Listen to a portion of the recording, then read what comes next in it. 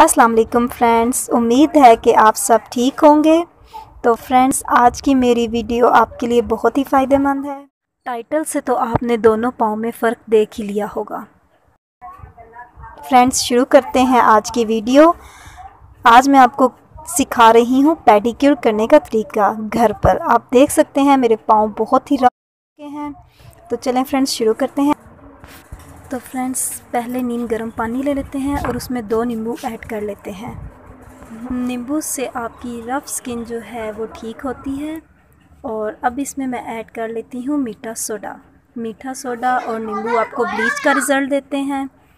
आप इसमें एक से डेढ़ चम्मच जो है वो मीठा सोडा ऐड कर लें।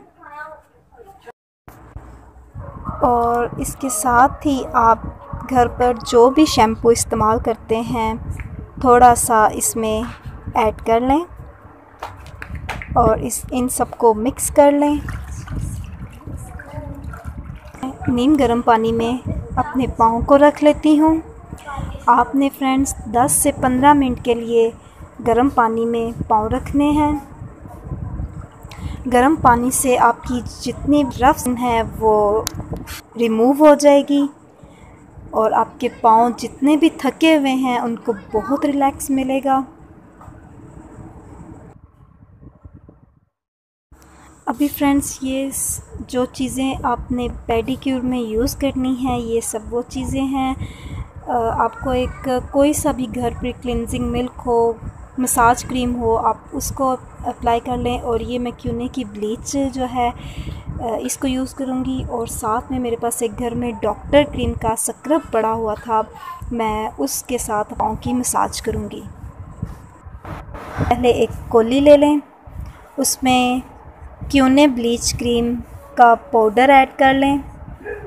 पाउडर आपने एक से डेढ़ चम्मच ऐड करना है क्योंकि आप ये फेस के लिए नहीं कर रहे हैं, पाँव के लिए कर रहे हैं। आप पाउडर ज़्यादा भी ऐड कर सकते हैं, कोई मसला नहीं होगा।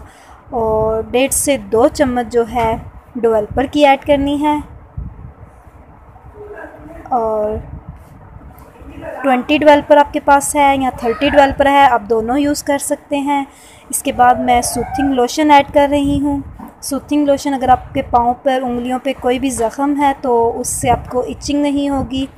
आप थोड़ा सा सूथिंग लोशन ऐड कर लें और थोड़ा सा मैं बीच में शाइनर ऐड कर रही हूँ, सिर्फ़ शाइन के लिए। अगर आपके पास सूथिंग लोशन और शाइनर शाइनर नहीं है तो कोई मसला नहीं। आप सिर्फ़ दो क्रीमों से भी ब्लीच को मिक्स कर सकते हैं और बीच में मैंने थोड़ा सा जो क्लिनजिंग मिल्क है उसको ऐड किया है और मैं अब इसको अच्छे से मिक्स कर लेती हूँ। तो फ्रेंड्स, मेरे पंद्रह जो हैं वो कंप्लीट हो गए हैं। अब मैं पानी से पाँव को निकाल लेती हूँ और नींबू जो जहाँ जहाँ मेरी रफ़ स्किन है, वहाँ पर इस नींबू से मसाज कर लेती हूँ की उंगलियाँ और जहाँ से स्किन ब्लैक है, वहाँ पर नींबू से मैं अच्छे से मसाज कर लेती हूँ। पाँव से मैं नींबू से मसाज कर कर उंगलियों से डैमेज स्किन को रिमूव कर लेती हूँ और फिर पाँव को साफ़ कर लेती हूँ। फ्रेंड्स, अभी आप देख सकते हैं मैं को नहीं अप्लाई की, इसमें मैंने पाँव गर्म पानी में रखे हैं और बीच में दो तीन चीज़ें ऐड की हैं और मेरे पाँव में कितनी शाइन आ गई है। मैंने ब्लीच क्रीम मिक्स करके रखी थी, वो मैं पाँव पर अप्लाई कर लेती हूँ।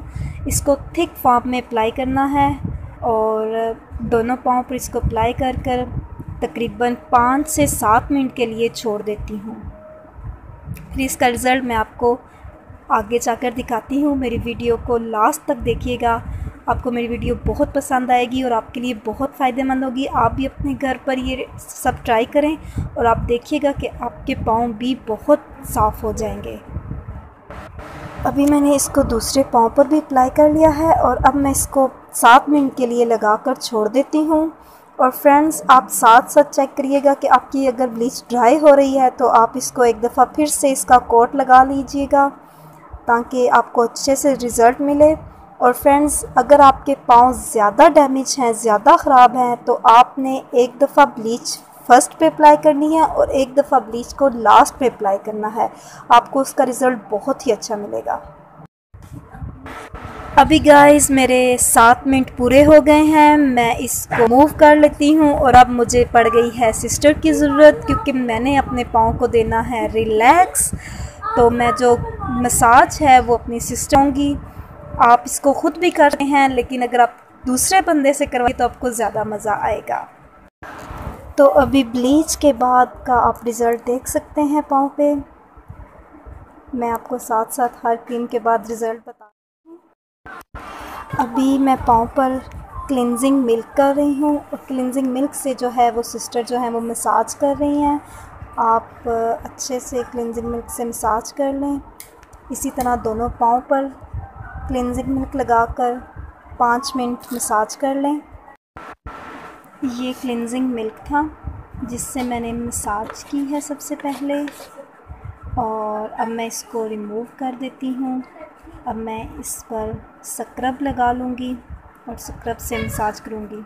आपके पास घर पे कोई भी स्क्रब है तो आप लगा सकते हैं। अभी मैं स्क्रब यूज़ कर रही हूँ और स्क्रब को भी पाँच से सात मिनट तक जो है वो मसाज करना है और फिर मसाज कर कर इसको रिमूव कर लेना है। अभी फ्रेंड्स मैंने दोनों पाँव को अच्छे से धो लिया। अब देख सकते हैं रिज़ल्ट आपके सामने है। आप घर पर ये ज़रूर ट्राई कीजिएगा। आपको बहुत अच्छा रिज़ल्ट मिलेगा। अभी मैं लाइट सी जो है वो नेल पॉलिश लगाकर आपको चेक करवाती हूँ। लास्ट टच इसका फ्रेंड्स जो मेरे पाँव की उंगलियाँ बहुत ही ब्लैक हो रही थी, वो बिल्कुल अच्छे से साफ़ हो गई हैं डेड स्किन बिल्कुल निकल गई है, फ़र्क आपको वाजिया नज़र आ रहा होगा।